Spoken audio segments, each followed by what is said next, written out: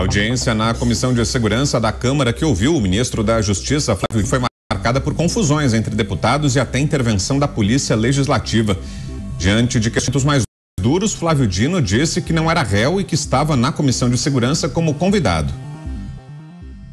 Eu estou aqui para ouvir perguntas e respondê-las. Eu não sou réu, eu não sou acusado, eu não estou aqui nesta condição, estou na condição de convidado.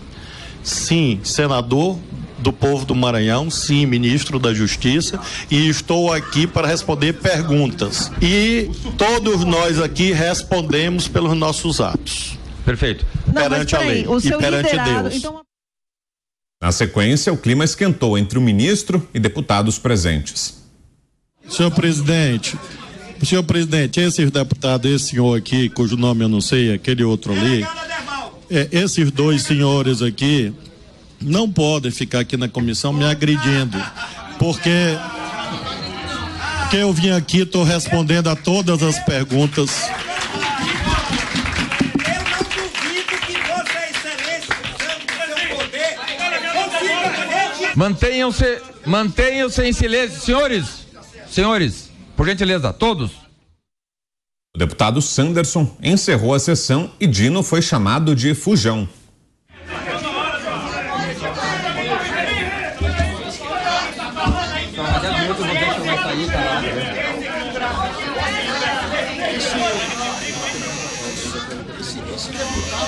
Deu, deu, deu no que eles queriam, eles vão embora. Senhores, está encerrada a sessão, nós vamos fazer uma nova convocação.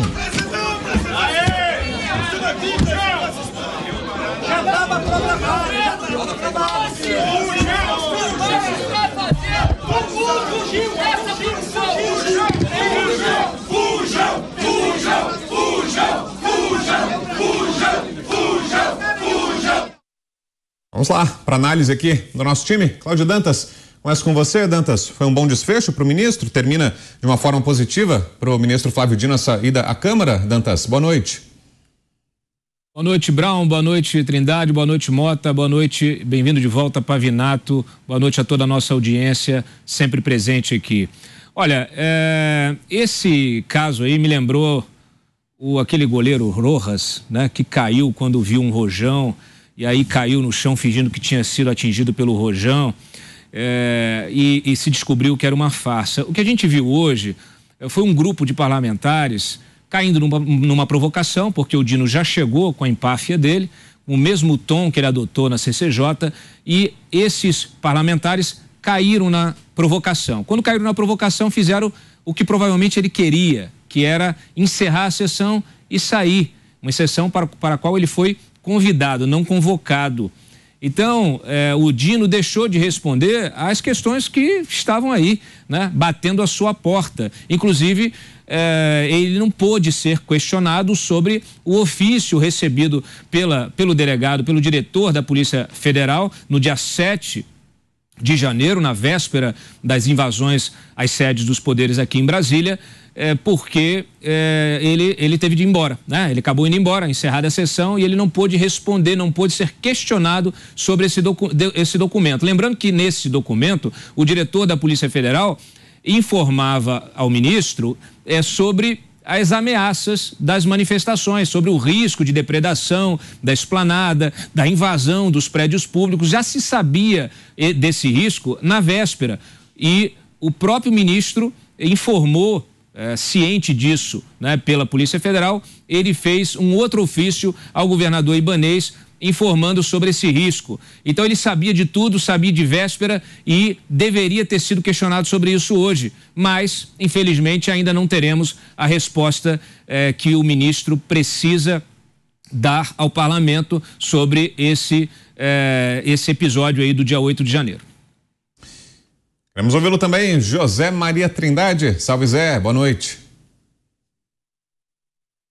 Pois é, eu acompanhei essa sessão toda e também os preparativos para essa reunião. Nós conversamos aqui, fizemos uma entrevista com o presidente da, da Comissão né, de Segurança Pública e Crime Organizado, o deputado Sanderson, e ele nos passou assim, detalhes de como seria e foi muito bom aqui para a nossa audiência. Dino estava na comitiva oficial à China e eh, ficou e foi e veio hoje de manhã à, à Câmara dos Deputados. Eh, o Sanderson recebeu muitas reclamações do que aconteceu na CCJ, Comissão de Constituição e Justiça, dirigida por um petista, Rui Falcão.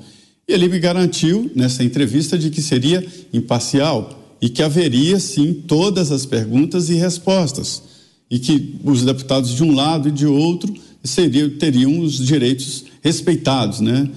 Mas isso acabou não acontecendo. Vi ontem também, à noite, uma grande reunião de deputados lá para treinar, fazendo uma espécie de treinamento exatamente para esta reunião. Inclusive a pergunta que cercaria o ministro da Justiça: quem é que é o responsável por suas mídias sociais? Se é ele mesmo ou se ele delega alguém? Ele teria que explicar se ele delegou ou não alguém sobre as mídias sociais. Isso aí não é por acaso. Política não existe nada por acaso. Os governistas fizeram uma proteção para acabar exatamente num não depoimento. Viu dessa forma também, Roberto Mota, uma manobra que deu certo para os aliados do ministro Flávio Dino? Boa noite, Mota. Boa noite, Brown. Boa noite, meus colegas. Bem-vindo, Pavinato. Você fez muita falta. Boa noite para nossa audiência. O vento que sopra de cá, inevitavelmente sopra de lá. Eu quero dar os parabéns ao deputado Sanderson. Eu acho que ele parece que ele conduziu bem a situação. O papel do Congresso não é apenas aprovar projetos de lei. O Congresso também tem a missão de debater e esclarecer temas importantes e, às vezes, investigar.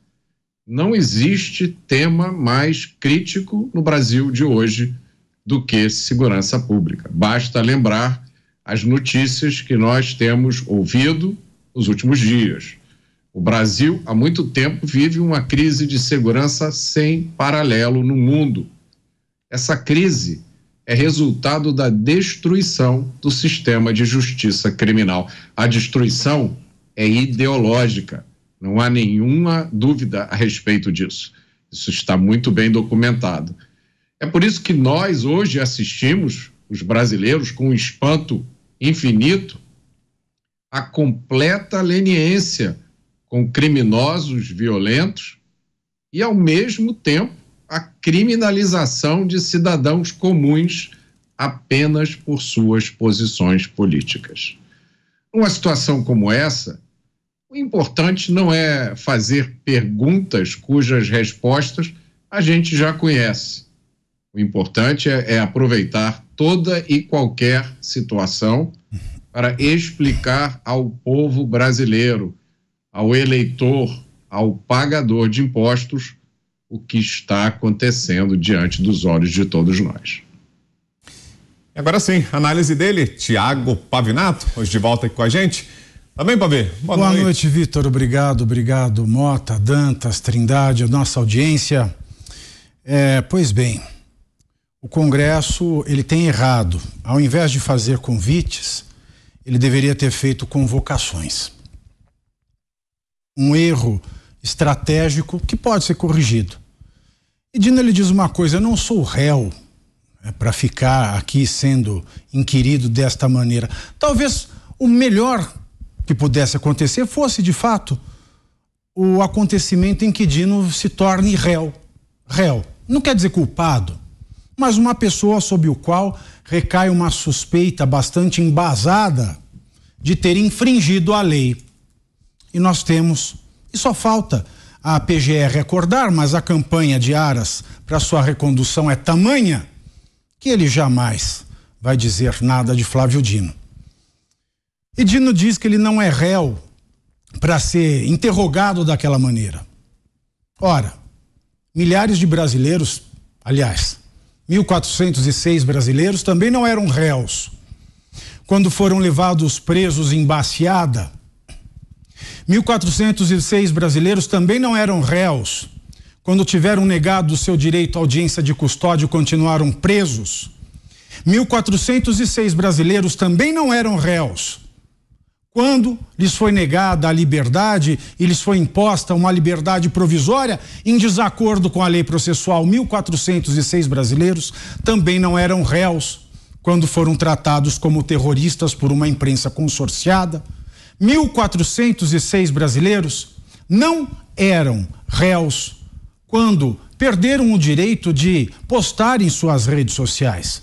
E não precisamos ir só ao brasileiro comum, a mim, a você, qualquer pessoa que nós conheçamos. Nós também temos um presidente, ex-presidente Jair Bolsonaro, que também não é réu, mas que não cansa de ser chamado por esse governo de fujão e de genocida. Agora, Dantas, dá para enxergar nessa sessão de hoje da Comissão de Segurança da Câmara uma prévia daquilo que aguarda o governo, os ministros do presidente Lula, os integrantes da administração federal, numa eventual CPMI do 8 de janeiro? Vai ser muito parecido com isso que, a gente acompanhou hoje à tarde, Dantas?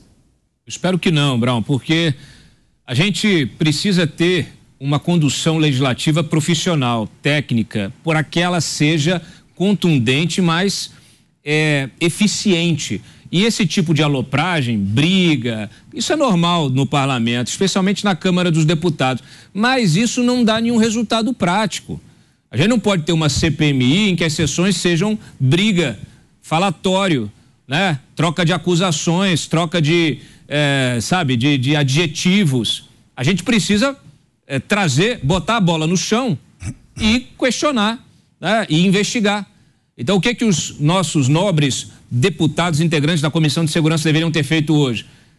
Ficado tranquilos, deixava o ministro entrar, cada um fazia o seu questionamento, porém, com preparo. O próprio eh, Zé Maria acabou de falar, havia um preparo anterior. Para que, que se prepararam tanto? Para cair eh, né, nessa. para deixar eh, que, que o Dino usasse isso, usasse essa provocação né, para poder se, se, eh, se livrar das perguntas. Então eu espero que a CPI, eh, caso ela venha a ser instalada, eu já não, tenho, já não estou tão confiante assim, eh, ela possa ser conduzida de forma mais responsável. Mas aí, para isso, vai depender justamente de quem vai ficar na mesa ali, quem vai ser o presidente, o relator, né, o secretário quem serão, quem será esse núcleo de comando e os integrantes da própria CPI, porque senão vira feira vira feira. E feira é, né, não, não, resolve nada, não resolve o problema é, do cidadão. E essa é uma CPMI absolutamente fundamental. Não é só para para para o atual governo, para a responsabilização eh, de integrantes do governo, como o próprio Flávio Dino, que precisa ser investigado nesse episódio, mas é para registro histórico, para que a gente entenda exatamente o que aconteceu naquele dia 8 de janeiro, porque as investigações até agora não deixaram isso claro.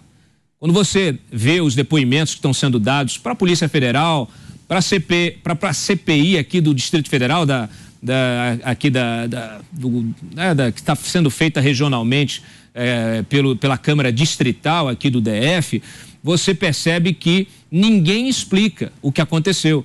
Questionam ali a cadeia de comando, é, então você tinha lá o comandante da PM, os, os subcomandantes, os, o pessoal que estava na ponta, a diretoria de inteligência, e todo mundo disse que estava tudo funcionando. Que até a véspera não se sabia de nada, até a antivéspera, até o dia 6, não se sabia de nada. E que só na véspera é que chegou a informação do risco né, e ninguém sabe por que não foram tomadas as devidas providências. Aliás, é bom que se diga o seguinte: já está nessa investigação da Polícia Federal a informação de que no plano integrado de ação, né, de ação conjunta das forças eh, federais, das forças estaduais aqui, distritais, para a proteção da esplanada no dia 8, já eh, teria, também havia participação eh, de, da segurança, de integrantes da segurança do próprio STF. Então tem muita gente para depor, tem muita gente para ser investigada, tem muita gente, tem muitos é, muitas lacunas que precisam ser preenchidas dessa investigação para a gente saber o que aconteceu, por que, que não fizeram, né? por que, que não reagiram, por que, que deixaram invadir. Então, é, tudo isso é preciso que realmente a investigação seja feita com o pé no chão, né? com a lupa nos documentos, é, com muita serenidade, muita Sim. responsabilidade. Se não vira festa, vira show, vira showmício. Você concorda, Zé? Um ambiente assim, um ambiente tumultuado, com os deputados caindo em provocações, seria melhor para o governo, de fato? E o ideal seria que houvesse questionamentos duros, mas dentro de um ambiente de, de cortesia, de decoro. É melhor para a própria oposição, Zé? É, a previsão era de quatro horas de depoimento, né? 40 seriam os inscritos, todos falariam. Houve uma proposta do governo para que fosse em bloco, ou seja, 10 deputados fariam perguntas e ele responderia às 10. E aí a comissão não aceitou.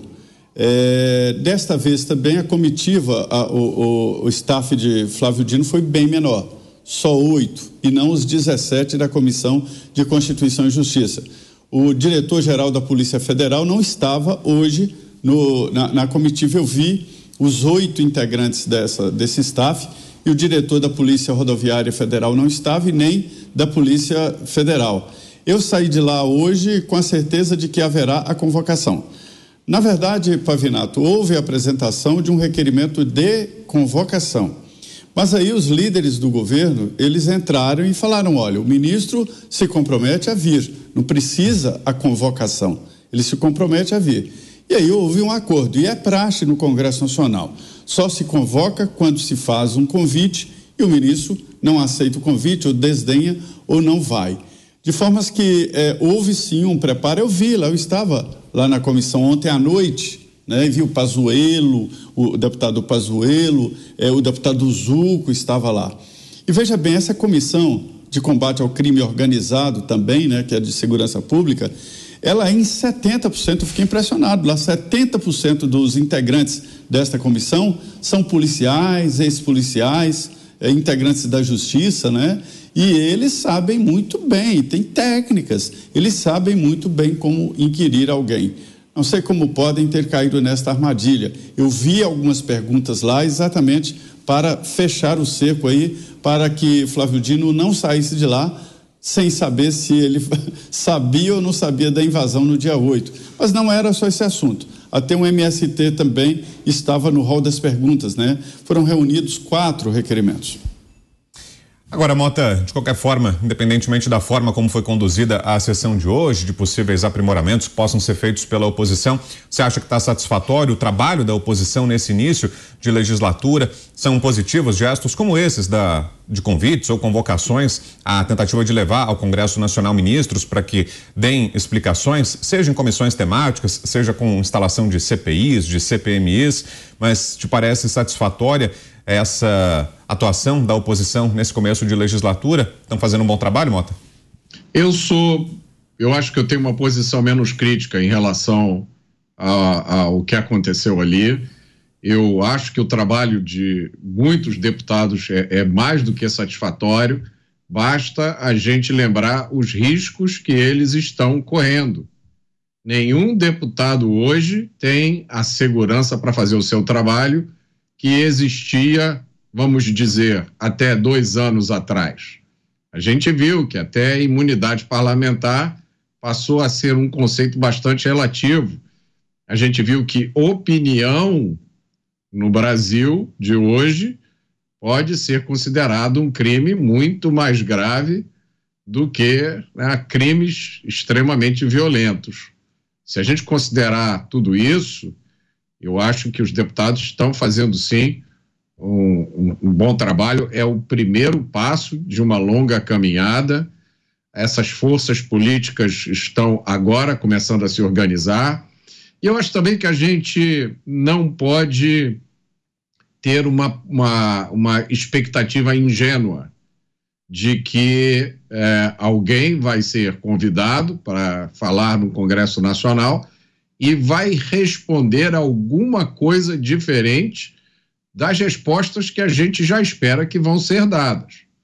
Eu não teria nenhuma expectativa de que essa sessão resultasse em algum esclarecimento, em alguma novidade, em alguma informação que já não seja de domínio público.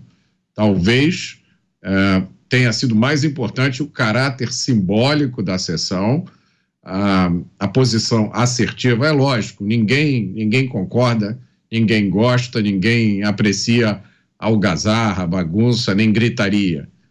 Mas a pergunta é: como é que você mantém a sua calma, a sua fleuma diante de certas coisas que estão acontecendo é, é, na frente dos nossos olhos? Eu acho que tudo tem limite, até a paciência de um deputado federal às vezes é testada e esse teste vai longe demais. Diga, ver. Tem dois pontos na fala do Mota que ah, são bastante, bastante interessantes. Manter a calma e a fleuma diante dessa situação. É, tem hora para começar e hora para terminar essa sessão, da mesma maneira como foi na CCJ. Dino é perguntado: Dino, você esteve é, sem segurança num complexo? Um exemplo, não sei se essa pergunta existiu nessa ocasião, mas aí ele responde: em 1850, quando o primeiro-ministro de Dom João VI, e, é, Dom João, 1850 já era Dom Pedro II, o primeiro, o ministro de Dom Pedro II, não sei o quê, e ele começa a contar uma história e ele vai divagando, e quando ele é interrompido, fala, ministro, o senhor pode responder a questão? Aí ele esbraveja, aí ele falta com o decor, falta com educação, diz que não sabe o nome do parlamentar. Então ele faz um preâmbulo tão grande que com esses preâmbulos ele não consegue responder uma só das dez perguntas selecionadas. E não dá para ter sangue de barata diante de tamanha disfarçatez, diante de tamanha falta de respeito. E uma outra coisa que é interessante que o Mota falou, nós temos assistido no Brasil uma queda de direitos como a imunidade parlamentar. E é interessante que nós estamos vendo a imunidade parlamentar ser apagada e se acender no lugar dela o que eu chamaria de imunidade ministerial. O que não existe. O que é antidemocrático, o que é antijurídico o que é uma aberração por natureza. Imunidade ministerial só se fala em regime totalitário. Nós assistimos uma cena em que o parlamentar não é imune para dizer o que pensa e o que quer, mas o ministro sim. Se isso é democracia, acabaram com o conceito de democracia e não contaram para ninguém. É, mas. Oi, Dantas, diga. Não, é, é o seguinte: é, é, se, se, a gente olhar pelo ponto de vista de que, ah, então de que, que adianta, né? Não ia adiantar nada, então não precisa mais convocar nada. É, ao contrário, eu acho que diante das alopragens, das provocações, é que nós, é que nós, né? É que os deputados que estão na oposição precisam ser firmes, ser sérios, ser técnicos. Quantas perguntas poderiam ter sido feitas? As perguntas, mesmo quando não respondidas, elas, elas às vezes é, equivalem, elas já, já são a manchete. Elas equivalem a, a você pontuar exatamente aquilo é, que, que, que é necessário. Até para uma investigação, para abrir uma investigação, para pressionar ainda mais, para questionar ainda mais o ministro. Ele poderia ser questionado, inclusive, por temas que não tem nada a ver com o 8 de janeiro. Agora mesmo avançou a tal da investigação do consórcio Nordeste que ele apoiou tanto, que ele integrou, ele poderia ter sido questionado. O que, que o senhor tem a dizer sobre os desvios lá do consórcio Nordeste? A investigação avançou, está lá o outro ministro tendo de, de responder. E ele poderia ficar em silêncio, o que seria ainda mais constrangedor. Quer dizer, é, a, a, a, a, oposição, os integrantes da Comissão de Segurança Pública perderam uma chance, é, é, uma chance, uma bela chance de, de, de emparedar o, o ministro e de questioná-lo. Ah, vai lá, pega o ofício. Ministro, o ofício que não tinha sido usado, porque não, não, não se deu publicidade a, eh, a, esse ofício antes, mas pegava o ofício hoje, o ofício da Polícia Federal, eu sei que dois, três parlamentares já estavam com esse ofício na mesa para perguntar. Aliás, o Dino sabia disso. O Dino sabia da preparação. O Dino, que tem a, a, que tem, é, que tem a, a, inteligência também, tem, é, é, tem forças de, de inteligência né, para poder atuar, tem assessores que se infiltram, que se que estão ali é, querendo né, é, saber o que, que, o que, que será perguntado. É, ele se informa, ele tem lá o serviço dele, né? Que é uma coisa normal. Os políticos vão se informando. Se, um, se, um, se alguém do executivo, um ministro do executivo vai descer no Congresso, ele quer saber o que, que ele será questionado. Então tem o assessor que vai lá, faz uma pergunta, aí ele vê o que, que sai na imprensa. Então ele já saberia que ele seria emparedado. Perfeito. Então, é isso. Vamos em, vamos em frente, vamos uh, rapidinho para ver. É, e, o que o Dantas falou é, é, é, muito sério, porque Quantos assessores tem cada deputado e cada senador? Para que, que a gente paga esse monte de gente se não é para deixar esse pessoal afiado? Se não é para deixar esse pessoal com a bala na agulha, a ponto de fazer as coisas certas, de não cair em provocações? Que a gente tem uma crítica histórica de que parlamentares ligados ao atual governo servem apenas para ganhar cargos na administração, a gente cair numa reflexão agora, para que servem então os assessores, as dezenas de assessores que cada um dos 500, dos quase 600 parlamentares que nós temos, ganham para não fazerem nada, para não precaverem, para não fazerem um ensaio, para não fazerem um brainstorm. É dinheiro do povo, é dinheiro nosso.